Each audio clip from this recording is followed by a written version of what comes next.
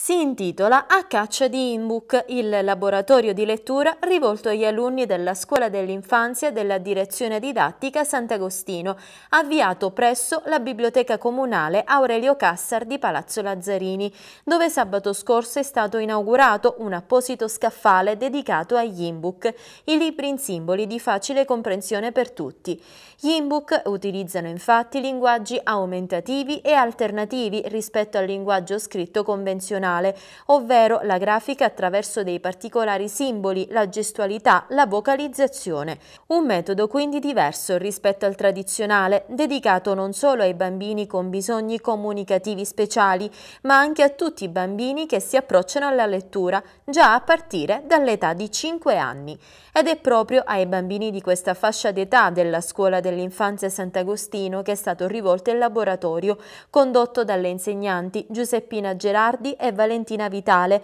alla presenza del dirigente scolastico Maria Paola Raia e della dottoressa Silvia D'Ambrosio, referente della Rete Nazionale delle Biblioteche Inbook.